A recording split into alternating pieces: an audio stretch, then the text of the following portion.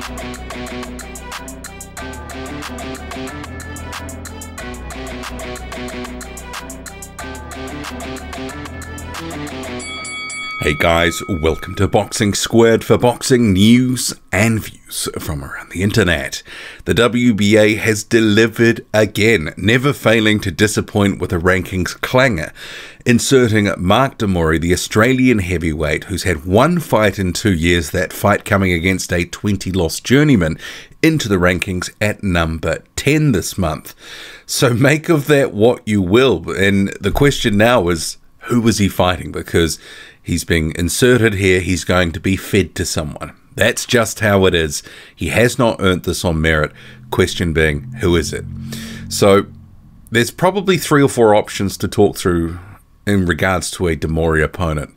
I mean, the most obvious, I think, at the top of the rankings, Daniel Dubois.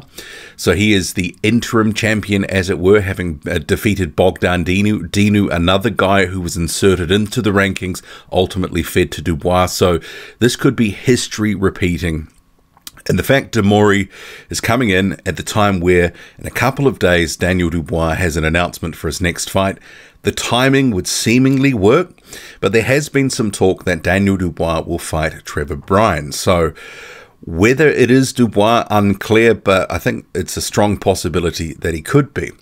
And in terms of Daniel Dubois and his rebuild, yeah, I mean, it is what it is. Mark De Mori will get knocked out in a round or two, and if Daniel Dubois ends up being on one of these YouTuber undercards in the United States, well, that will be some profile for him getting a devastating knockout. Maybe get some eyeballs turned in his direction because he's got to do his talking in the ring because he doesn't really promote himself outside of it. So Daniel Dubois, Mark De Mori, if it's made, terrible fight. But obviously, when you step back and go, Daniel Dubois coming off a year ago, that loss to Joe Joyce, he's rebuilt or starting the rebuild with that Bogdan Dinu fight, another guy inserted into the WBA, and then potentially a Mark De Mori. Well, yeah, it is what it is. It would be a bit of a joke of a fight, but I can understand why they would want to do it, and especially if they're effectively trying to make a showcase fight. Another guy that it could be, who's you, you don't see him in this top 15 list, Trevor Bryan. So if there's no Daniel Dubois versus Trevor Bryan, and it's not Dubois as the opponent for De Mori, it could be Trevor Bryan. This would also fit his sort of uh, modus operandi in terms of a weak opponent, a weak defense, him and Don King, his promoter, are going to cling to that belt like there is nothing else in this world that exists. Trevor Bryan could potentially end up holding that belt if he's not facing anyone with a pulse soon for some considerable time. So he's got the regular title at the moment. Formerly, he was the interim champion, managed to uh, get Mahmoud Charr pushed to the side. And you never know, it could be Charr as well versus Mark De Mori, but it would seem more likely someone who's at least seemingly active at the moment. Daniel Dubois and Trevor Bryan. I mean, active where Bryan's concerned is always a bit of a relative term. Term he had th- uh, two and a half years out before fighting Bermane Stiverne earlier this year. Would it seemingly be too soon? Because uh, Trevor Bryan's been so inactive in recent years. Has he had his not even annual fight? You know, has he just fought and this has got to be too short a gap for his next fight? Possibly. And that's a sad indictment on where his career has been and is at the moment. But if it is De Mori, I wouldn't be surprised because it's a dreadful opponent that would fit with who he's been fighting.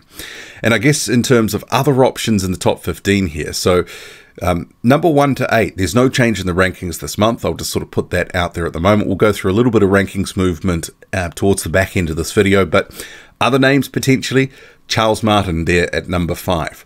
So he is training at the moment in a camp seemingly no fight on the horizon. There's no fight date for Charles Martin. So in camp, maybe De Mori is being lined up to be fed to Charles Martin.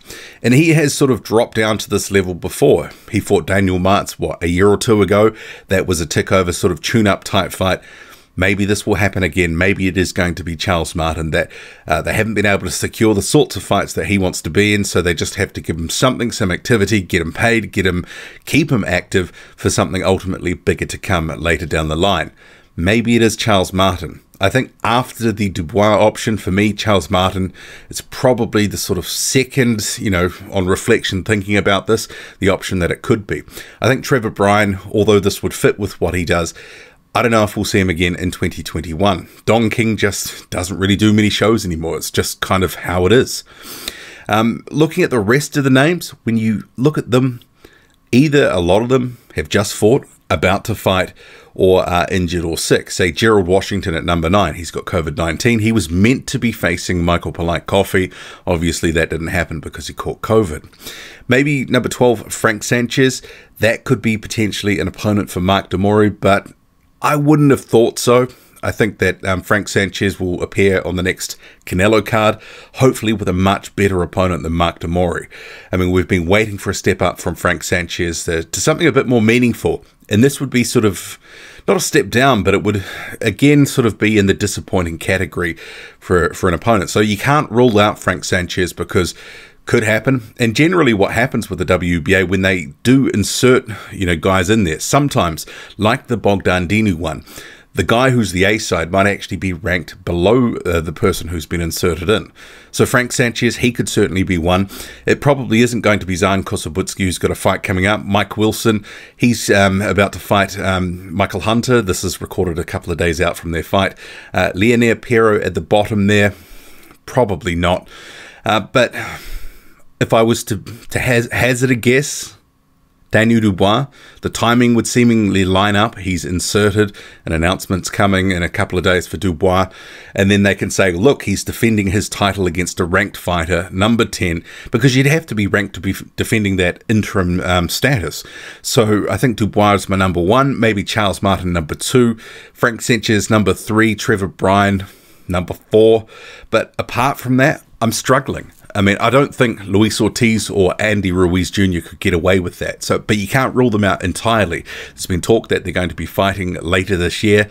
Hasn't been announced or properly sort of formalized or organized. So we'll see with those guys. But the rest of the top 15, a couple of uh, guys who've dropped out this month. Michael Polite Coffie, who had been in there, he's out. He had been at number nine last month. Jonathan Rice comes in at number 11. That was a very good win for Rice, career best win. Puts him in here at 11th spot. And the WBA didn't muck around, so these rankings came out immediately after that fight. So they must have been, you know, had their um, finger on the send button watching that fight.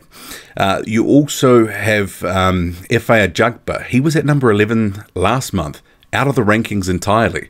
And it's not clear why, because it can't really be for inactivity because he fought earlier this year. So maybe there was not the passing of a brown envelope or something, but, you know, 11 to being out entirely, that is interesting. But what do you make of it all? Mark De Mori coming into the rankings, not on merit, clearly being fed to someone. Could it be Daniel Dubois? Could it be Charles Martin or other? Drop a comment loud and often. Hit like, hit subscribe. Follow me on Twitter, boxing underscore squared. I'm out.